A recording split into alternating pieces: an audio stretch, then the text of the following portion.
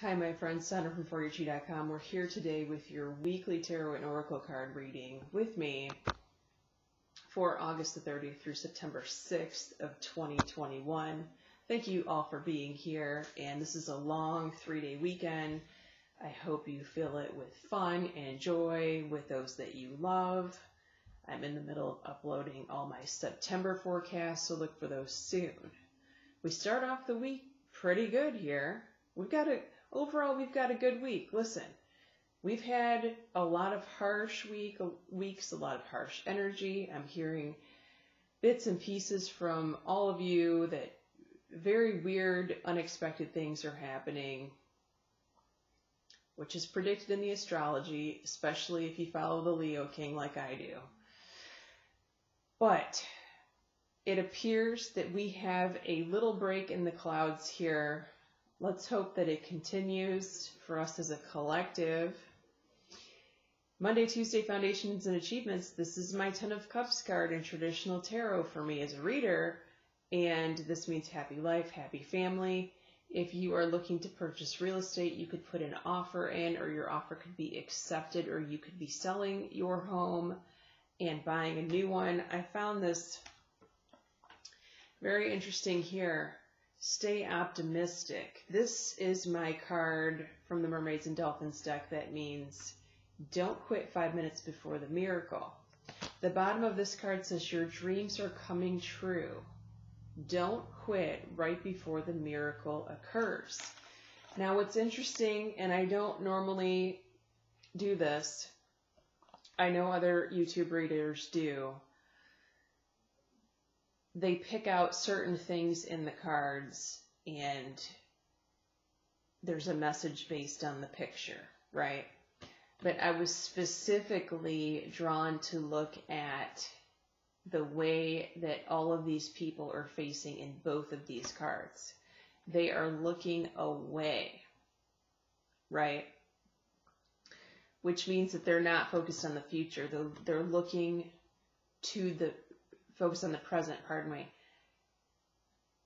There's something to be said about being in the present moment. So whatever you can do to be in this present moment right now, whether that is, you know, affirmations of gratitude, I feel like that's going to speed up this manifestation process and solidify what you're trying to do here in this uh, first part of the week. Tarot card for Wednesday, Thursday, we have balance. Balance suggests that something is out of balance and needs to be rectified.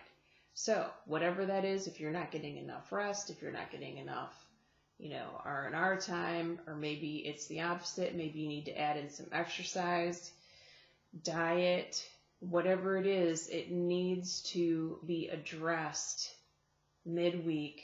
And it could be that your household is out of balance too, right? Your members of your household, your family, and if you are the matriarch, you're going to want to get on that, especially as the uh, start of the school season is here.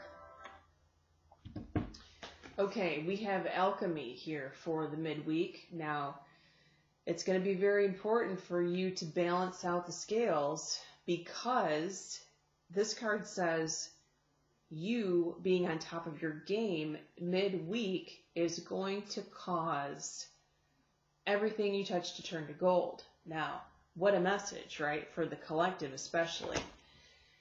The bottom of this card says just that. You have the Midas touch right now and every project you begin turns to gold. Well, that requires a certain amount of energy.